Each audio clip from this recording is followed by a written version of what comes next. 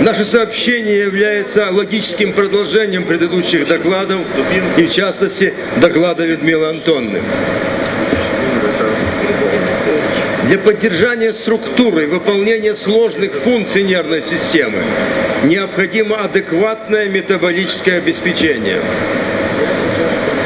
структура нервной системы, метаболическое обеспечение и функции тесно между собой связаны. И основные направления метаболического обеспечения включают строительные материалы, энергии, предшественники медиатора, регуляторные вещества, витамины, гормоны и другие регуляторы.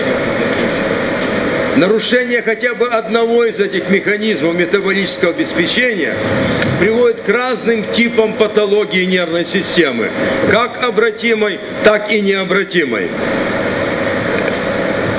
Примером может быть то важное событие в медицине, которое связано с открытием Казимира Функа, который выделил за трубей витамин В1, дефицит которого в организме вызывает полиневропатии, энцефалопатии верники, когнитивное расстройство. И с тех пор изучение мозга в патологии сделала огромные шаги, позволяющие исследовать его метаболизм еще при жизни больного. Метаболическая терапия нервной системы в разной степени является составной частью любого лечебного направления в неврологии. Вот в некоторых аспектах этой метаболической терапии позвольте мне кратко остановиться. Перед вами ведущие механизмы которые ведут к смерти нейрона.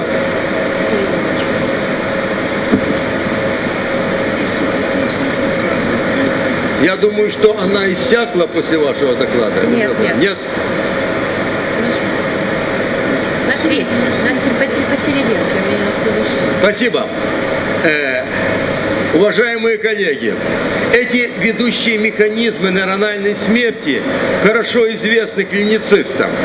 Но э, сегодня у нас есть реальная возможность коррекции э, современными препаратами указанных механизмов. И э, следует назвать здесь не только антиглютаматные препараты, антиоксиданты, активаторы э, энергетического метаболизма, антагонисты кальция, препараты, влияющие на нейротрофический фактор, фактор роста нейронов, нейротрансмиттеры, холинергические препараты, пептидергические препараты, нормализующие уровень аминокислот, многочисленные гамкергические препараты. И вот анализ многих патологических процессов показывает общность ведущих механизмов их возникновения, среди которых ведущее место занимают глутаматная оксайтоксичность, оксидантный стресс, повышение содержания кальция внутри клетки.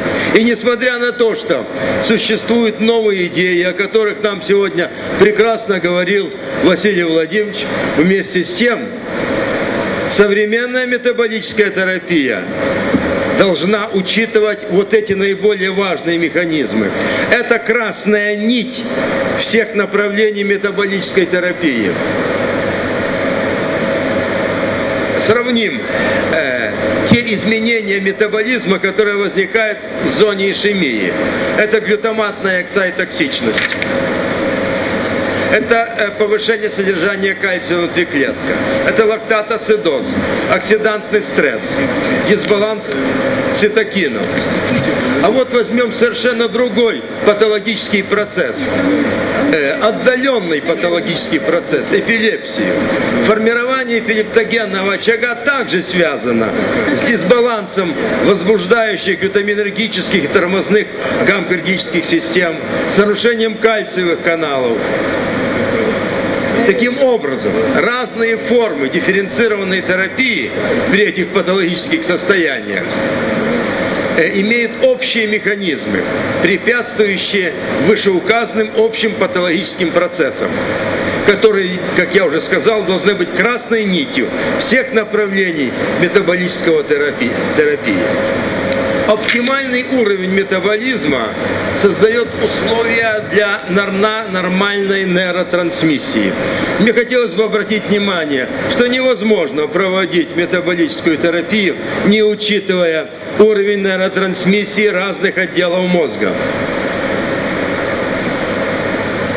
По происхождению нейротрансмиттеры э, синаптические медиаторы, выполняющие функции нейрональной коммуникации, условно разделяются на аминокислоты, моноамины, пептиды, нуклеотиды, ацетилхолин. А вот э, пути воздействия на различные компоненты медиаторного процесса в клинических условиях должны максимально учитывать воздействие на предшественник медиатора, синтез медиатора, процесс синаптической передачи, рецепторный аппарат. По существу только лечение болезни Паркинсона учитывает указанные четыре основных механизма. Мы назначаем метаболический предшественник, мы учитываем синтез дофамина, мы э, влияем на процесс синаптической передачи, влияем на ферментативные функции, которые в этом принимают участие, и влияем на рецепторный аппарат, э, применяя различные агонисты э, дофамина.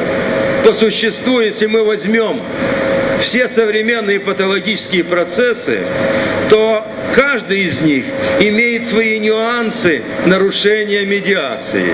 И вот если мы сумеем при всех патологических процессах также оказывать влияние на эти четыре основных направления, тогда мы по-настоящему сумеем э, эффективно лечить больных и дифференцированно э, применять разные препараты с учетом их медиаторной функции.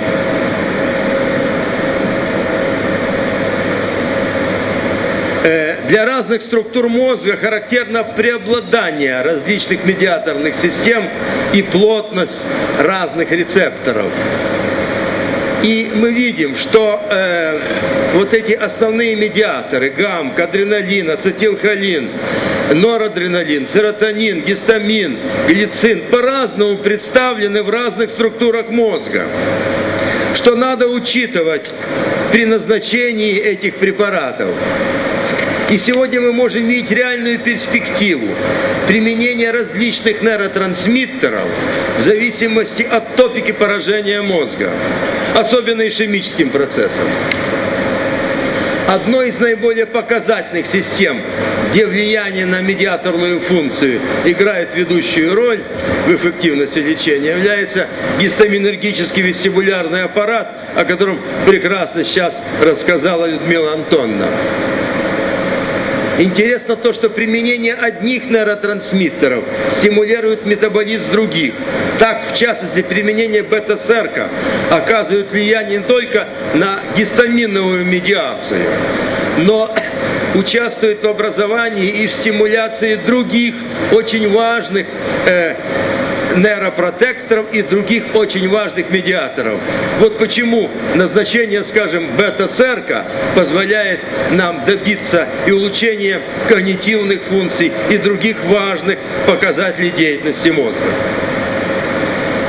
Э, По существу э, многие препараты, которые мы сегодня применяем в неврологии, обладают э, полимодальным действием. И очень важно учитывать сущность этой полимодальности.